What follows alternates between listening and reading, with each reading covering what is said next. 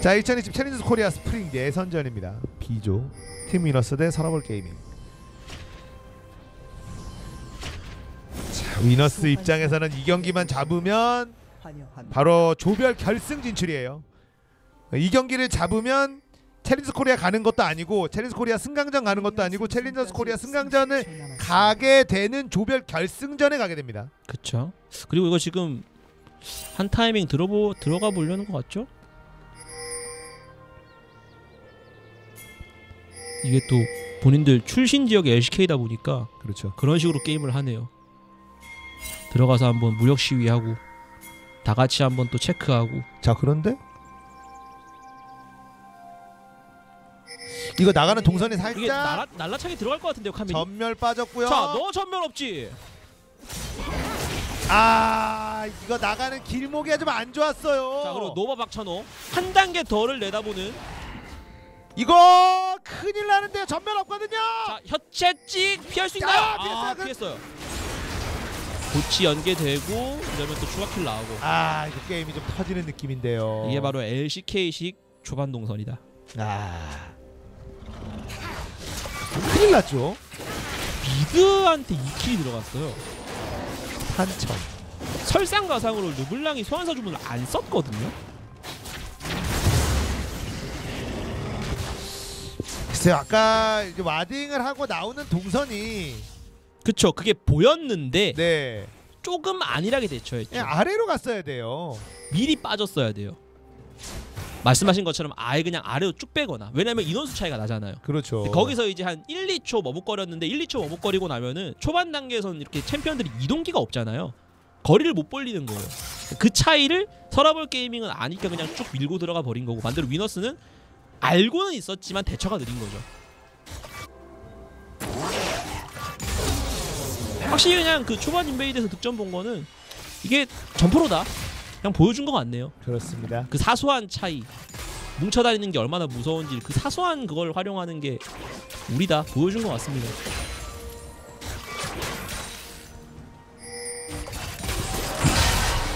자 초반 이득을 좀 많이 가져갔어요. 이게 제일 무서운 건 지금 당장이 아니라 르블랑이 한번 정비하고 나서예요. 이 킬을 먹은 르블랑이 전멸 점화 다 남아 있고 말씀하신 그런 2킬 먹은 상태에서 정비하고 나면은 아무리 이게 사일러스가 이제 저렇게 자 이거 땡겨오고요. 어 이건 잘 끌었는데요. 자 렉사이도 오는데요. 이거 최소 버려야죠, 버려야죠. 버려야죠. 가차 없게. 자 렉사이가 킬 가져갑니다. 아 이게 바로 그면 그 귀환인가요? 바로 그 귀환이죠. 네. 약간 기분이 업돼 있는 것도 있는 것 같아요. 사실 블리츠 크랭크 앞에서 저 위치에서 귀환을 일반적이면 안 했을 것 같은데 조금 업돼 있는 것 같습니다. 앨리스 잘 피했어요.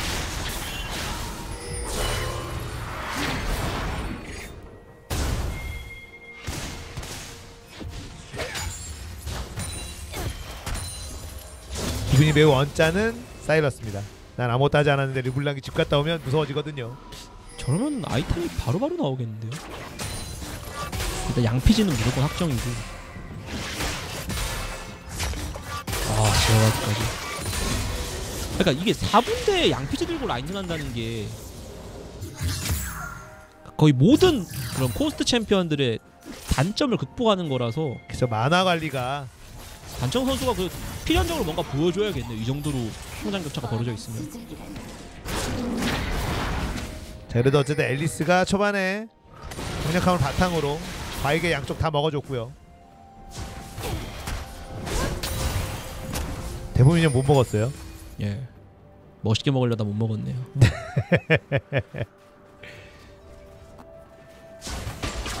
이 선수들이 생각하는 게 대포미니언 못 먹을 때 자괴감이 고수들은 엄청 큰 것 같던데요. 그쵸 대포 미니언이 이제 가치가 올라가는 패치도 있었고 그 뒤로는 진짜로 못 먹으면은 정말 영향이 큰 거라 근데 뭐 어떻습니까? 2킬 먹었는데 네. 단청 선수가 단청이 단군의 청춘부대 줄임말이 단청이 맞습니다. 그쵸 원래 단군 팬. 지난 그런 지난 마지막 시즌에서는 챌린저스 코리아에서 활동을 했었고요 네. 탈리야와 르블랑 등으로 좋은 활약을 보였었습니다 오늘 또 르블랑을 잡고 있네요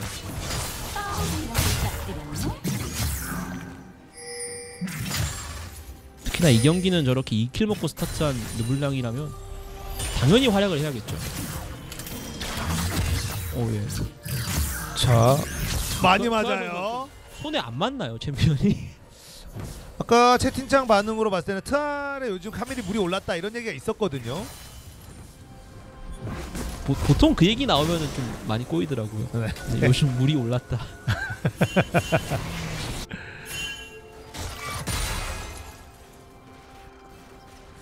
세나도 발동이 약간 늦게 걸리기 때문에 맞아요. 어, 적배 챔프이긴 합니다만 발동이 좀 늦게 걸려요. 세나가 약간 이제 좀 완전 비슷하다고 볼 수는 없는데 힘 나오는 타이밍이 예전에 이제 그 이즈리얼 시절이랑 비슷합니다.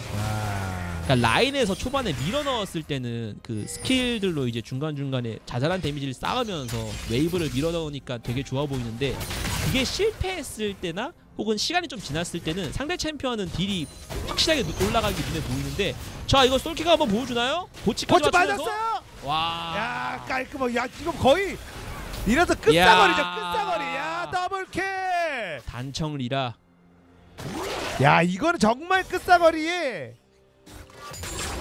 깔끔하게 스킬 연계 다 들어갔네요. 자 노바 moving.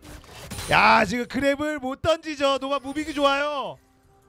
그래서 르블랑이 4킬입니다. 내려오나요? 고치가 진짜 거의 끝에서 최대 사거리로 날아갔는데 정확하게 맞았어요. 이게 사실 이론적으로는 저런 미드 교전을 하는 게 맞거든요. 그런 만약에 LOL에 그런 병법서가 있다면, 근데 아무래도 그런 게 디테일하게 되지 않았고 교전이 딱 일어나는 순간 그냥 서라볼 쪽에서 아마 승리를 직감하지 않았을까 싶어요. 이 정도 성장력 차인 상태에서 미드 교전이 일어나면 7분에 이제 방출의 마법까지 들고 왔네요. 저러면 10분 대에 루덴이 나온다는 얘기인데 그러면 아 이게 참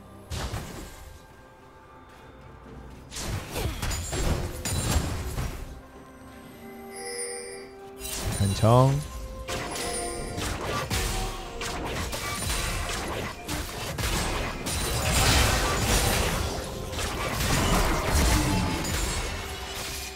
이게 그림이 세나가 푸시하는 그림이면 안 좋거든요. 어? 땡겨 왔어요 세나를. 그래도 탐켄치 네. 웨이브가 크니까 더 들어갈 수 없고요. 이게 이제 탐켄치 세나 조합이 압박하고 있을 때 강점인데 옛날에 이즈리얼 탐켄치랑 비슷하죠. 그런 느낌이네요. 밀어넣고 있을 때는 정말 재밌는.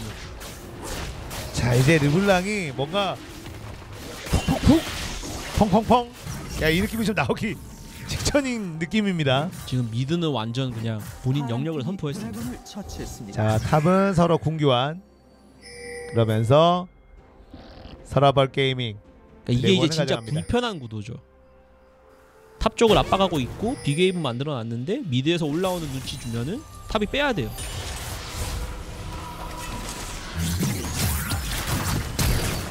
아 어. 점멸까지 썼는데 이게 이제 결국에는 mid가 이렇게 좀 차이가 크게 벌어져 있는 상황이라 top 쪽에서도 좀 무리해서라도 득점을 해야 되니까 그런 이런 제스처가 나오는 거거든요. 근데 결국에는 이게 득점으로 이어지지 않으면은 이런 것도 이제 결국 점멸이 없는 콜사일이 들어가는 거잖아요.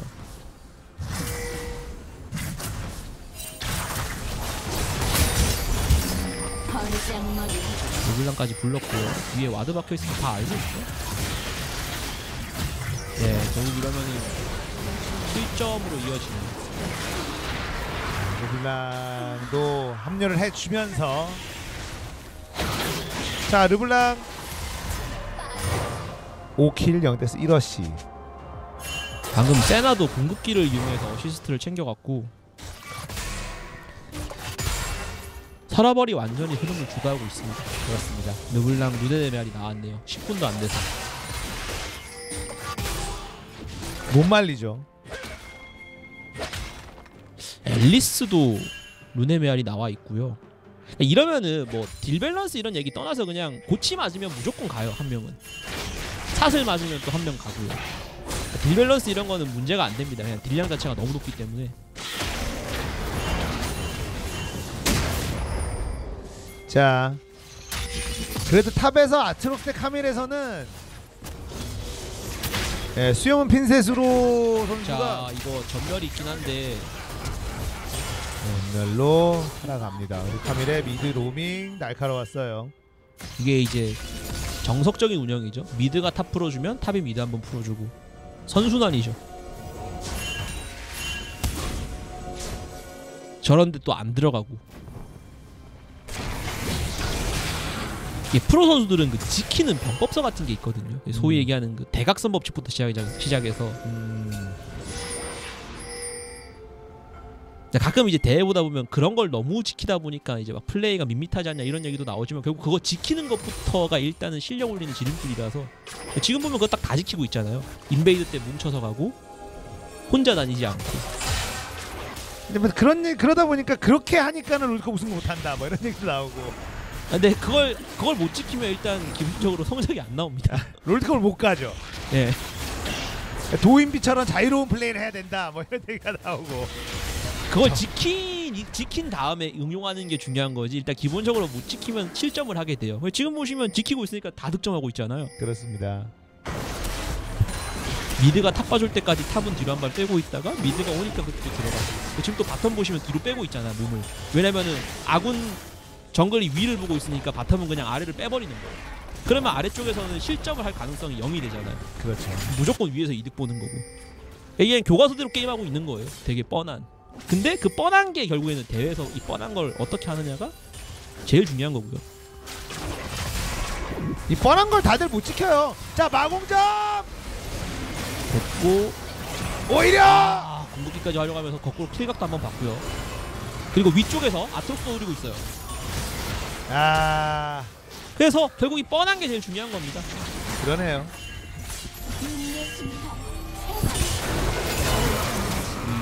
르블랑까지 오면서 또 르블랑 르블랑이 득점. 등장을 아. 하면서 7kill 0death 1assi 서라벌이 사실 뭐 그런 아까 언급해주신 그런 scrim 과정에서 좀 참패하는 거라던가 아무래도 또 선수들이 이제 좀 약간 느슨해지지 않았을까 이런 걱정들도 많았는데 팬분들이 그걸 완전 그냥 다 날려버리는 우리는 전프로다.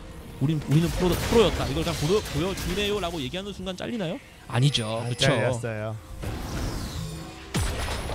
날카롭긴 했습니다만 좋은 플레이였지만 득점하기 좀 아쉬웠네요.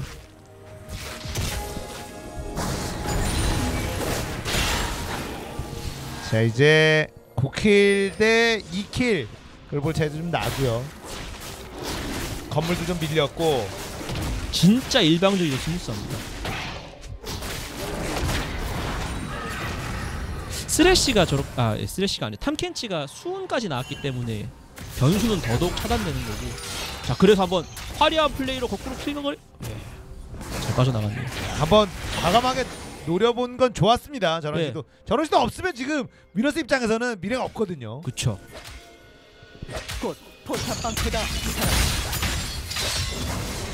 아니면은 결국 또 블리츠가 기적 같은 그랩을 하나 보여주는 수밖에 없죠. 블리츠가 변수 산출해야죠. 미너스 입장에서는. 근데 지금 뭐 딜러들이 성장하지 좀 잘 못하다 보니까 이걸 땡겨도 될까? 이런 좀 망설임이 들 수 있는 타이밍이긴 합니다. 맞습니다. 이거 땡겼다가 오히려 사고 나는 건 아닐까? 쭉 돌아서 그러면 이번에 한번 끌어보려고 하는데 속박탁 던지고 아, 깔끔하게 아, 부드럽게 대처하고 앞으로 몰아내기까지 하는 호흡이 굉장히 좋아요. 노바 상윤.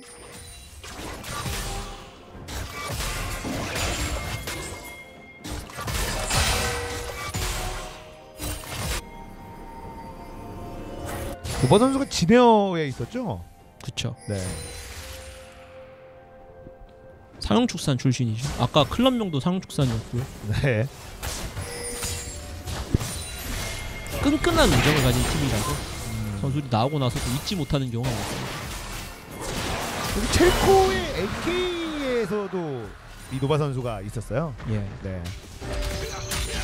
그래서 이제 서라벌이 용까지도 깔끔하게 챙겨가고 있고 그리고 이게 또 카밀 같은 경우에도 아트록스와의 그런 라인전 단계에서는 카밀이 지속적인 압박을 느끼는 구도가 있었잖아요. 근데 미드가 탑을 한번 풀어줬고 포탑 골드를 독식하면서 아이템이 3위일체가 벌써 나왔어요. 3위일체가 나오고 나면은 아트록스가 라인을 끼지 않은 상태에서는 사실 카밀을 못 이기거든요. 자 점멸까지 떠서 아, 거꾸로. skill shot은 이렇게 하는 거다. 와. 야. 빵! 점화가 한 tick 모자랐네요. 와. 무서웠습니다. 이게 보면 구도가 계속 이게 반복이죠. 위너스가 뭔가 득점을 해야 되니까 딱 들어가는데 서라벌이 그걸 또 반격하면서 거꾸로 득점할 노리는 그 구도가 반복되고 있고 이번에도 체력 관리가 안 되니까 미드 1차가 나가게 된 거고. 아 뭔가 physical moving 차이가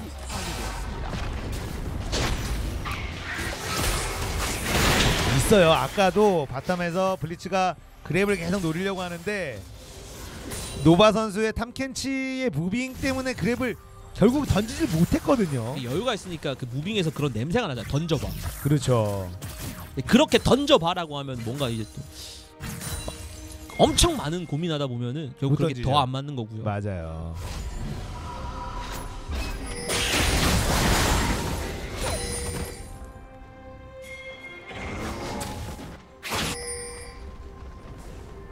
여기도 이제 좀 제발 당해줬는데 저도 안 나가죠.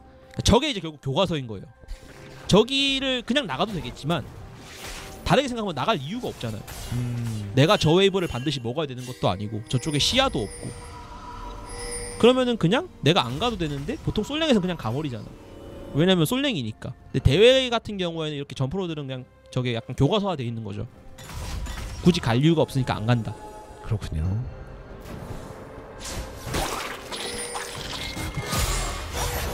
일단은 차이가 좀 나죠. 전체적으로 확실히 차이를 보여주고 있는 살아버립니다. 바로바로 또 이렇게 추가적인 전령 활용까지 되네요. 네. 전령이 이제 프리시즌 이렇게 개편되면서 여러 번 생성이 가능하기 때문에 초반에 snowball을 타이트하게 굴리기 원하는 팀이라면 이렇게 여러 번 쓸 수 있습니다. 자, 9 kill 대 2 kill이고요.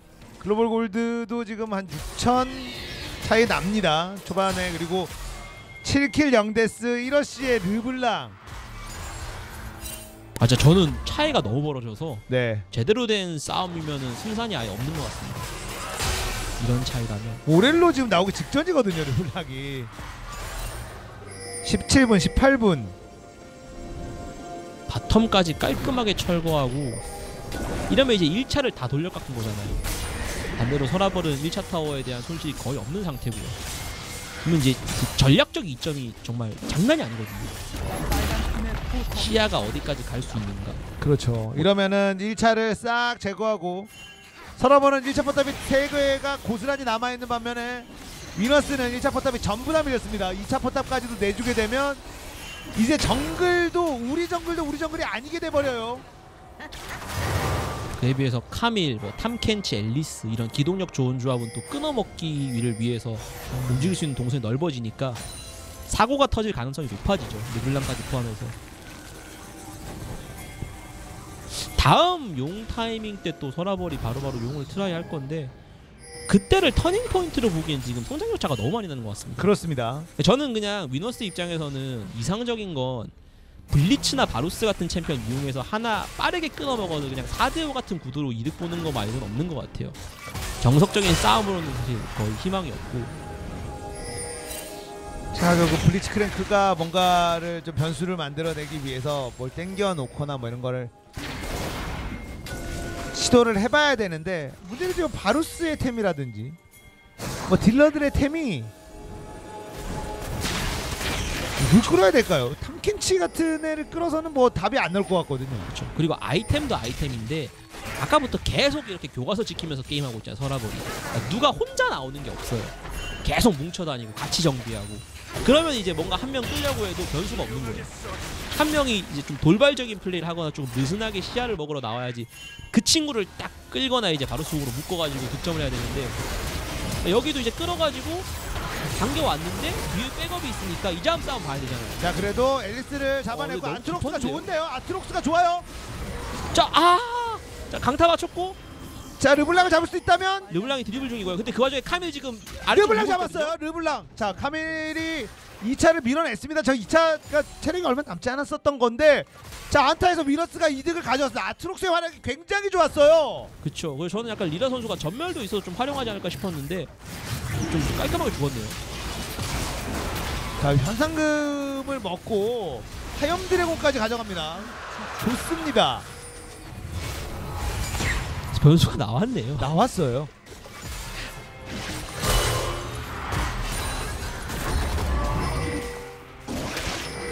전 조냐에 전멸도 있어서 있으면 사고가 안 날 것 같았는데 정말 잘 죽였습니다. 오, 왜 이것도 좋아요.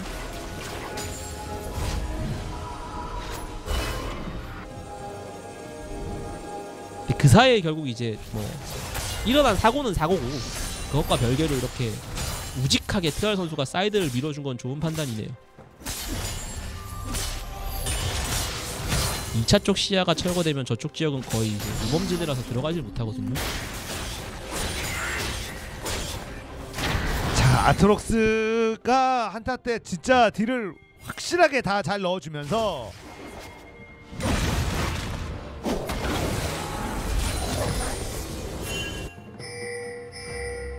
지금 이제 서랍을 아마 그 생각하고 있을 거예요. 우리 팀의 그런 진짜인 카밀이 아직 활약하지 않았다. 음, 워낙 그 텐션이 다들 좋은 팀이다 보니까 그렇죠. 텐션은 확실합니다. 이게 이또 팀은 강점인데 프로 경험이 있다는 거 일단 멘탈이 쉽게 나가진 않거든요. 자, 어또 뽑아왔어요. 자, 자 체력 회복은 잘 좋았고 그러나 넥사이 잡히고 자 이렇게 되죠. 이게 정석적인 싸움으로 가면은 그냥 화력 차이가 심하게 납니다. 아 바루스가 좀 더 바루스가 르블랑 때문에 딜을 편하게 넣지를 못했어요. 계속 눈치 보면서 넣었거든요. 르블랑만 혼자 있을 때 좀 얘기가 다른데 이렇게 르블랑 카멜이 같이 있으면 두 챔피언이 이렇게 정말 화려하게 공중교하듯이 이렇게 내가 한번 들어갔다가 그 다음에 네가 들어가 이런 식으로 막 돌아가잖아요. 그러면은 그 뚜벅이 딜러들은 딜을 제대로 못하죠. 아 여기서 아주 중요한 포인트를 가져가게 되는 사라벌 게이밍입니다. 오히려 서라벌에서 상윤 선수는 그거 걱정하고 있을 것 같아요. 지금 본인이 딱히 활약이 눈에 안 보이거든요. 그렇죠. 활약을 하고 있음에도 불구하고 예, 어, 이거는 약간 만족스럽지 않죠. 307인데 뭔가 내가 하는 것 같은 느낌이 안 나고 있잖아요. 임팩트가 없어요. 분명히 하고 있는데 네, 카멜이랑 르블랑이 너무 잘 커서 그렇죠.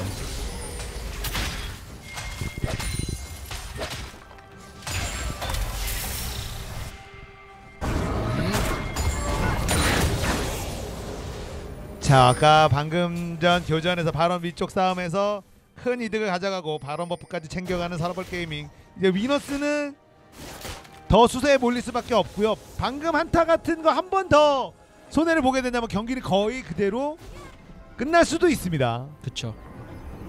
끝나거나 혹은 끝나는 그런 세기가 막힌다고 보시면 될 것 같습니다. 자, 위에 또 끌었는데 세이브하고 오래 버티긴 했어요. 와, 르블랑 몸통 박치기. 르블랑! 아! 와! 아, 효과는 굉장했습니다.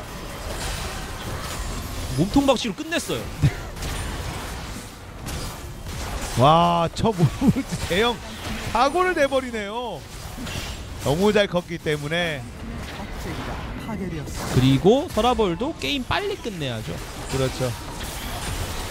동률이 나올 경우에는 시간으로 결정나기 때문에 아, 시원하게 파괴되었습니다. 와, 깔끔하게 세레모니 들어가고 탈출하고 마무리되고. 잡히고. 아, 상윤이 불만이 있는 경기예요. 그쵸. 네. 자, 이렇게 해서 사라벌이 승리를 가져갑니다.